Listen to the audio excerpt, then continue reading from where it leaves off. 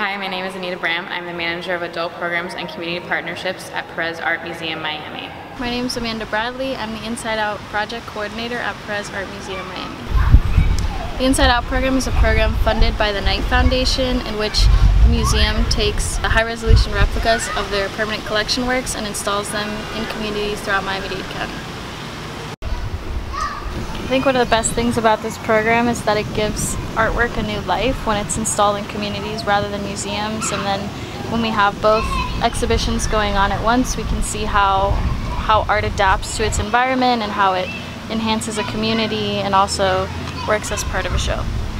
The nature of the program is to install work where you might just happen upon it and that can be in dog parks, near fountains, at community centers, and in the middle of soccer fields.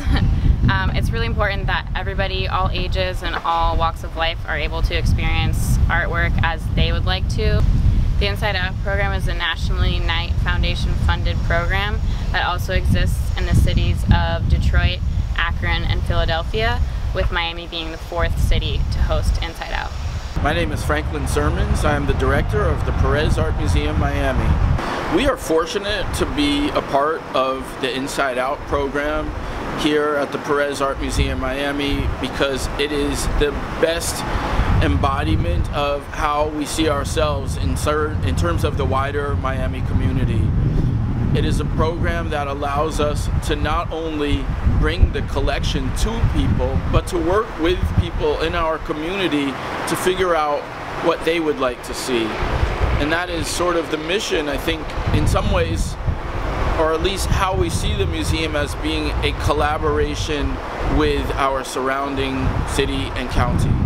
And of course, we are at the Perez Art Museum Miami the beneficiaries of the Knight Foundation and specifically through this program. Um, the partnership cannot be overstated and I am so grateful, I think on behalf of the museum, just to say thank you to the Knight Foundation for working with us in many collaborative ways, but especially in this venture that we both hold so dear. Please come visit an Inside Out community near you to experience a breath of fresh art.